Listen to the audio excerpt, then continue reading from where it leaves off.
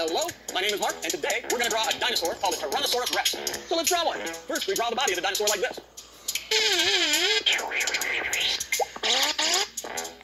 There we go. Tyrannosaurus Rexes have a big body with a small head and tiny little arms like this.